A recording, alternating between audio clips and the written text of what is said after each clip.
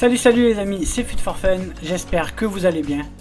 On se retrouve aujourd'hui pour une nouvelle vidéo défi création d'équipe DCE live avec la carte TOTS de Gaël Clichy.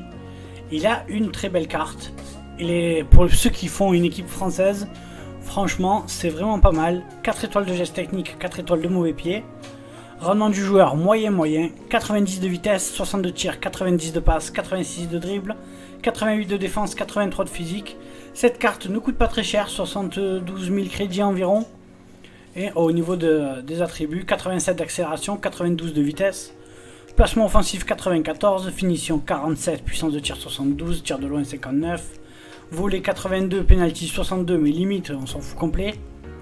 Vista 75, centre 95, précision du coup franc 48, passe courte 99, passe longue 93, effet 82, agilité 87, équilibre 83, réactivité 82, conduite de balle 86, dribble 86, calme 83, interception 88, précision de la tête 79, lucidité défensive 86, tacle debout 90, tacle glissé 88, 85 en détente, 99 d'endurance, 80 de force et 67 d'agressivité.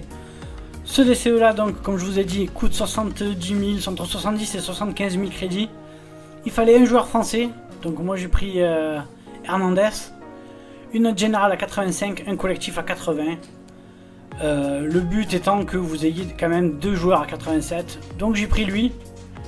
Il a un de collectif, donc vous prenez n'importe quel joueur à 87. Et après, pour le reste, c'est compliqué de changer. Euh, à la place de, Sommer, vous pouvez mettre euh, Pavlenka si vous en avez envie. Et après, on est pas mal. On est pas mal. Euh, non, on est pas mal. Allez, on commence avec Yann Sommer, André Onana, Lucas Hernandez, Manuel Akanji, Semi Ajaï, la version à 87 TOTS, mais vous pouvez la remplacer par n'importe quel 87. Javi Martinez, Dusan Tadic, Julian Brandt, Thiago, Ivan Perisic et on termine avec Andrei Kramaric. Voilà les amis, donc 70-75 000 crédits pour la carte de Gaël Clichy. Si vous le testez, n'hésitez pas à me le dire en commentaire ce qu'il vaut. C'est terminé pour cette vidéo. N'hésitez pas à liker, à vous abonner et à partager. Ça fait toujours plaisir. Nous, on se retrouve très vite pour de nouvelles vidéos. En attendant, prenez bien soin de vous. Ciao les amis